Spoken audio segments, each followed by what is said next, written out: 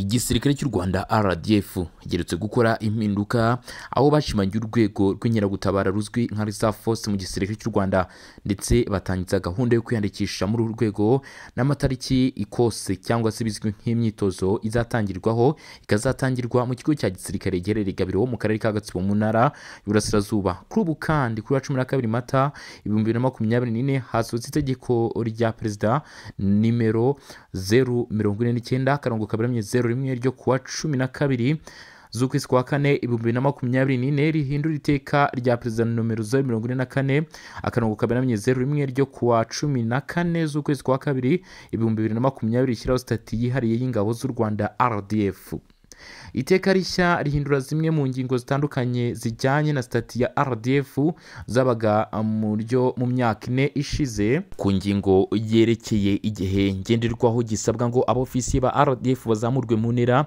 iri mu zahindutse mu busanzwe kugira ngo ofisiye wa rdf azamurwe mu ntera cyangwa mu mapeti hashingirwaga ku bintu bitandukanye. Birimo ubushobozi bwo gukora inshingano zisumbuye hashingiwe kuri raporo y'ubushobozi imyanya ihari amahugurwa ya gisirikare yakoze gutsinda ikizamini gutuma azamurwa mu ntera. Iyo ari ngombwa ndetse no gutsinda ikizamini cy'imyitozo ngororangingo.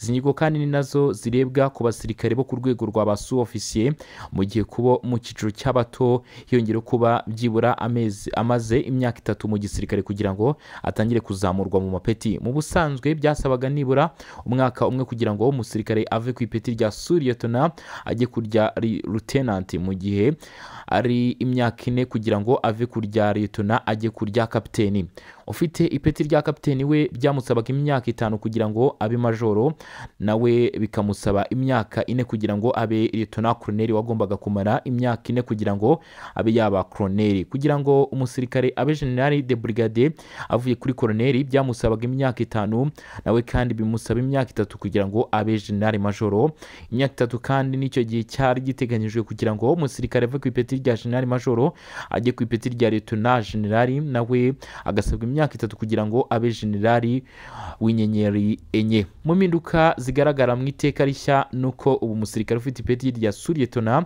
bimusaba amezi atandatu yonyine kugira ngo ajye kurya leta uyu we nk'ibisanzwe bikaba bimusaba imyaka ine kugira ngo agere ku rwego rwa kapiteni ufite ipeti rya kapiteni bizajya bimusaba imyaka ine kugira ngo abe majoro nawe bikamusaba imyaka itatu kugira ngo abe leta koroneri ugomba kumara imyaka itatu kugira ngo abe yaba koroneri ba koroneri byabatwaraga imyaka itanu kugira ngo babe ba jenali de brigadier bizajya bibatwara imyaka ine gusa.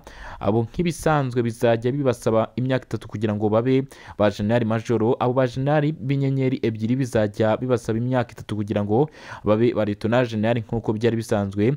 Nabo bibasabe indi nkayo kugira ngo bibabe baba ba jenali buzuye. Iteka rya perezida icyakora riteganya ko perezida wa repubulika akaba n'umugaba w'ikirenga wa rdf ashobora kuzamura ku ipeti ryisumbuye ofisiye igihe icyo ari cyo cyose cyangwa akamuzamura ku ipeti ryisumbuye igihe agiye mu kiruhuko cy'izabukuru. Njye nitwa brigadier general ronald rwivanga nkaba ndi umuvugizi w'ingabo z'u rwanda ndi kumwe na koroneri lambert sendegera umuyobozi mukuru ushinzwe abakozi mu ngabo z'u rwanda. Impamvu yatumye tubahamagara ni ukugira ngo tubasobanurire birambuye. Urwego rw'inkeragutabara imiterere n'imikorere y'uru rwego nk'ishami rimwe mu mashami ane agize igisirikare cy'u rwanda ariyo ingabo zirwanira ku butaka land force ingabo zirwanira mu kirere air force ingabo zishinzwe ubuzima military health service n'ingabo z'inkeragutabara reserve forces. Iki kiganiro kigamije gusobanurira abanyarwanda muri rusange n'urubyiruko by'umwihariko igikorwa cyo kwinjiza mu ngabo inkeragutabara bakwitabazwa iyo bibaye ngombwa ibisabwa kugira ngo bemererwe kujya muri uyu mutwe w'inkeragutabara imiterere y'akazi n'ibigenerwa umuntu wahamagariwe iki gikorwa cyo kunganira abasirikare basanzwe mu kazi kabo ka buri munsi. Mu rwego rwo kongerera ingabo z'u rwanda ubushobozi n'ubumenyi mu ngeri zitandukanye umutwe w'inkeragutabara urateganya kuzagira ingabo ziri mu byiciro bitatu bikurikira. Icyiciro cya mbere inkeragutabara bitabazwa mu bikorwa bya gisirikare abo twita operation reserve aba ni urubyiruko ruri hagati y'imyaka cumi n'umunani na makumyabiri n'itanu y'amavuko. Aba batoranywa mu muryango nyarwanda bagatozwa mu gihe cy'amezi atandatu eh, bakaba bakwifashishwa bibaye ngombwa mu kongerera no kunganira ubushobozi n'ubumenyi bw'abasirikare b'u rwanda eh, basanzwe mu kazi kabo ka buri munsi. Icyiciro cya kabiri. Nyiragutabara zigizwe n'abarangije cyangwa abasheshe amasezerano yabagengaga mu mwuga wa gisirikare bakiri mu myaka y'amavuko ateganya n'itegeko ryihariye rigenga rdf abo twita reinforcement reserve.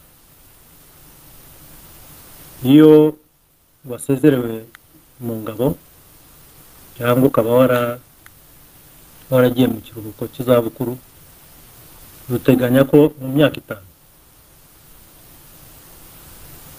ushobora kuba uh, reinforcement reservist ukunganira ingabo eh, ukaguma tuba tu- dushaka abantu bafite ubumenyi bw'abayikuriyemo ikaba yaziba icyuho mu murimo wabo wa buri munsi. Icyiciro cya gatatu ni icyiswe strategic reservists. Aba ni abanyarwanda bafite ubumenyi bwihariye. Bazobereye mu bintu bitandukanye byo kongera rdf ubushobozi.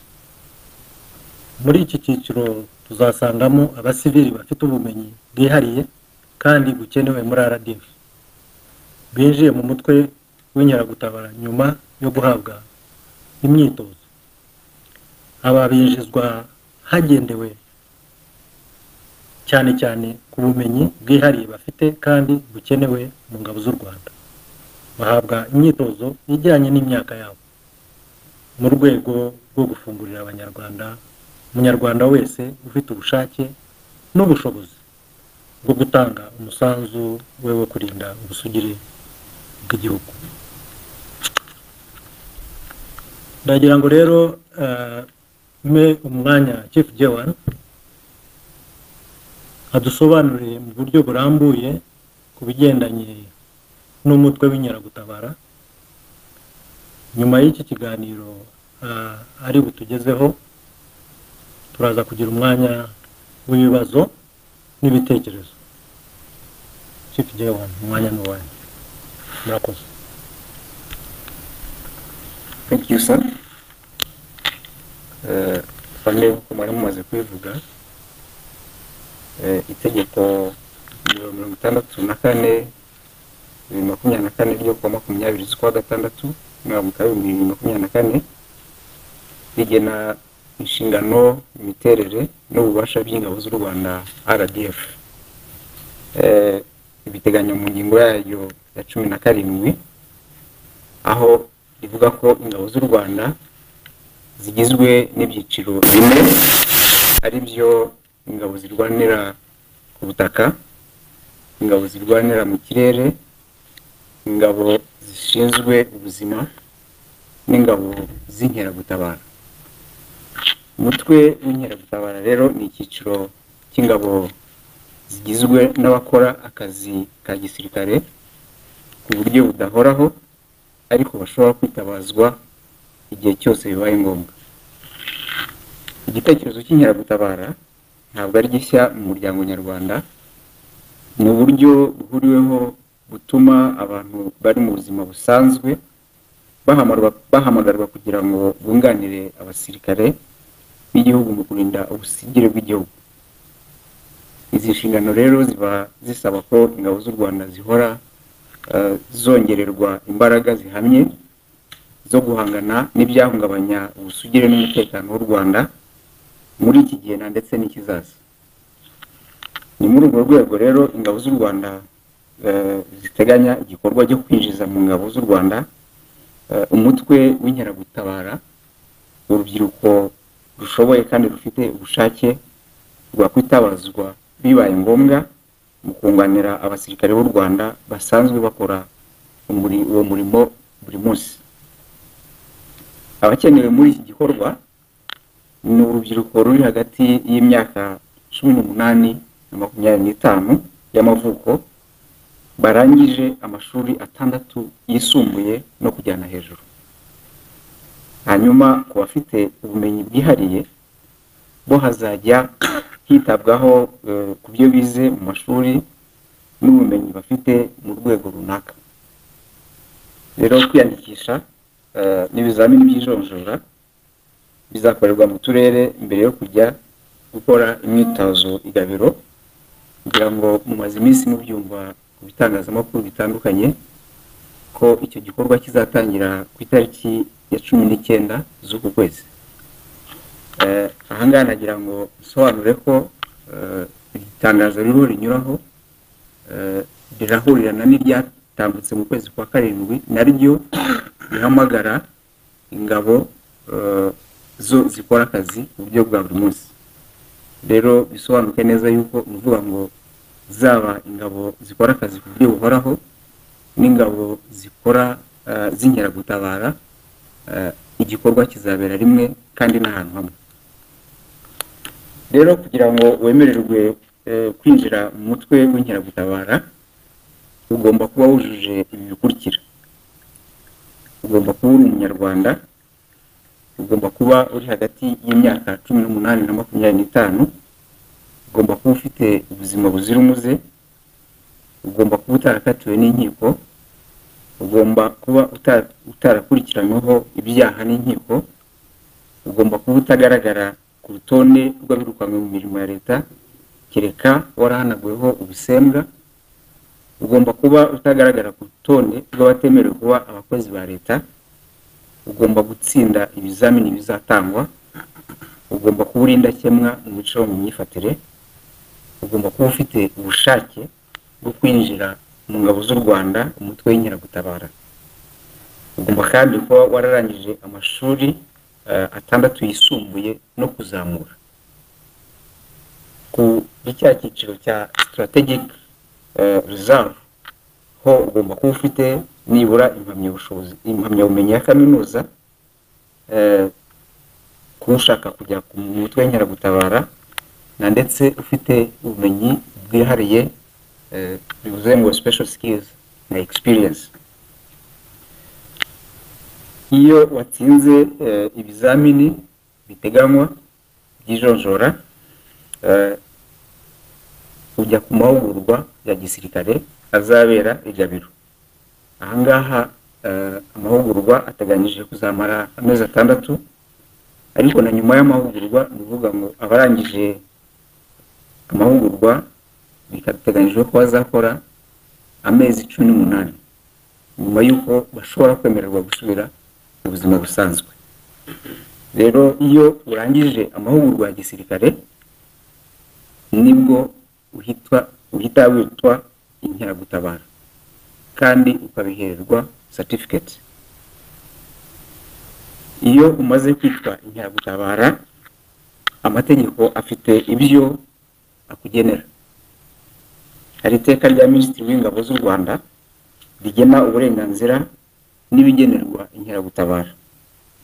Minisitiri w'ingabo ashingiye ku itegeko nshinga rya repubulika y'u rwanda mu ngingo zaryo za ijana makumyabiri na rimwe ijana makumyabiri na kabiri n'ijana mirongo irindwi na kane ashingiye kandi ku iteka rya perezida eh, nimero makumyabiri na kabiri zeru rimwe ryo kuwa makumyabiri na rimwe z'ukwezi kwa cumi bibiri na cumi na gatandatu rihindura kandi ryuzuza iteka rya perezida nimero mirongo itatu na gatatu zeru rimwe ryo kuwa eh, gatatu ukwezi kwa cyenda bibiri na cumi na kabiri rigena imiterere n'inshingano zihariye bya buri cyiciro mu bigize ingabo z'u rwanda cyane cyane mu ngingo ya cumi na rimwe Eh, abinjira mu mutwe w'inkeragutabara bazajya bahembwa umushahara n'ibindi byose bagenerwa mu gihe bari mu myitozo no mu gihe bahamagawe kuza mu kazi bingana n'ibyo abasirikare bari mu kazi ka buri munsi bahabwa abasirikare bari mu rwego rumwe nk'uko biteganywa na sitati yihariye y'ingabo z'u rwanda.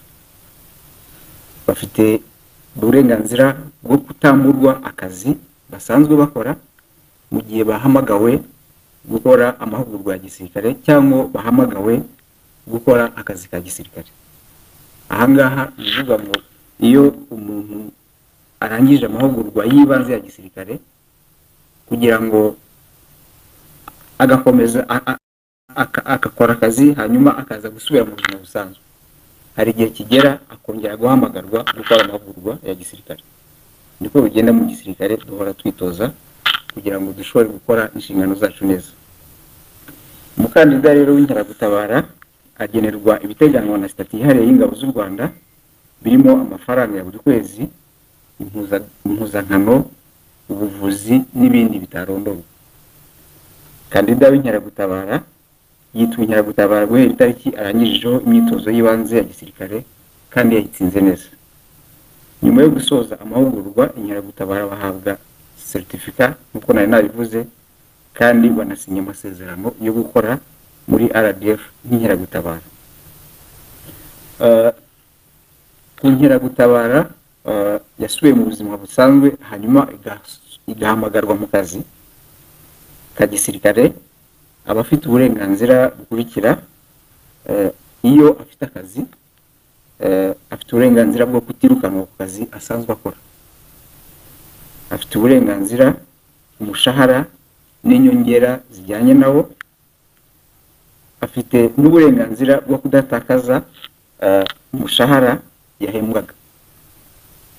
Afite uburenganzira mu kuzamurwa mu ntera iyo yujuje ibiteganywa na sitati yihariye y'ingabo z'u rwanda. Afite kandi uburenganzira ku bwishingizi bw'indwara iyo ari mu mahugurwa cyangwa ari mu kazi. Afite kandi n'uburenganzira bwo guhabwa eh, ibimenyetso n'ibyishimwe n'impeta za gisirikare. So abagize inkeragutabara bashobora kugenerwa n'ibi bikurikira. Ibi ngibi ntabwo ari hamwe n'ibyo bashobora kugenerwa Eh, ashobora kwiga mu mashuri ya gisirikare iyo yujuje ibisabwa. Ashobora koroherezwa gukoresha ahagenewe gukorerwa imyidagaduro hagenerwa ha- ha- hagengwa na minisiteri y'ingabo. Kandi ashishikarizwa kujya mu makoperative no gushyiraho koperative nshya. Ashobora gufashwa kubona akazi mu nganda no mu mishinga ibyara inyungu icungwa na minisiteri y'ingabo. Ashobora kandi guhabwa amahirwe yo kwimenyereza umwuga mu nzego n'ibigo bishamikiye kuri minisiteri y'ingabo. Ibi ni byo agenerwa igihe akibarwa nk'inkeragutabara ariko nk'uko bigenda no mu kazi kose ukora akazi ariko hakagera igihe ugasohokamo. Rero itegeko riteganya ni ryari inkeragutabara? Eh, irangira kwitwa inkeragutabara. Ni ku mpamvu zikurikira hari kurangiza igihe cyo kubarirwa mu nkeragutabara ku buryo buhoraho. Aha ngaha ni ukuvuga ngo iyo igihe cye cya retirement cyangwa cyo kujya mu zabukuru kigeze. Ubundi buryo cyangwa iyindi mpamvu ni iseswa ry'amasezerano y'umuriro. Eh, mu cyongereza ibyo twita rescission of contract. Indi mpamvu ya gatatu ni ugusaba kureka umurimo w'inkeragutabara bikwemerwa. Eh, aha ngaha mu cyongereza babyita granted request. Ingingo ya kane ni ugukurwa mu kazi kubera impamvu z'uburwayi. Mu cyongereza byitwa medical discharge. Ingingo ya gatanu ni ukwirukana. Cyangwa se dismiso ingingo ya gatandatu ni ukunyagwa amapeti eh, n'impeta za gisirikare. Ingingo ya karindwi ni ugukatirwa burundu igihano cy'igifungo kingana eh, cyangwa kitarenze imyaka ibiri. Iyi ingingo ya nyuma ni urupfu. Ni ukuvuga ngo ibyo ni byo bishobora gutuma umuntu ava cyangwa areka umurimo w'inkeragutabara. Iyo rero umuntu arangije umurimo we neza w'inkeragutabara sitati yihariye ya gisirikare igira ibyo imugenera hari imperekeza ihabwa inkeragutabara irangije amasezerano y'umurimo ibarwa hashingiye ku giteranyo cy'igihe cyose eh, yahamagariwe gukora imyitozo n'akazi ka gisirikare ka buri munsi. Iyo igiteranyo cy'igihe inkeragutabara imaze ikora amahugurwa ya gisirikare n'umurimo wa gisirikare wa buri munsi kigera ku myaka icumi bivuga biteranyije byose imperekeza ingana n'ihabwa urangije amasezerano y'umurimo iteganywa muri sitati y'ingabo z'u rwanda. Iyo igiteranyo cy'igihe inkeragutabara yamaze ku murimo eh, n'amahugurwa ya gisirikare kitageze ku myaka icumi imperekeza ibarwa hakurikijwe ijanisha n'igiteranyo cy'igihe yari amaze akora cyangwa ari mu mahugurwa ya gisirikare. Nkaba numva rero ari byo nashaka kuvuga mu magambo make murakoze Eh, ayo niyo makuru y'ingenzi twagira ngo tubasangize ahasigaye ni ahanyu kubigeza ku banyarwanda kugira ngo dukomeze gufatanya kubaka igihugu cyacu n'igisirikare cy'u rwanda.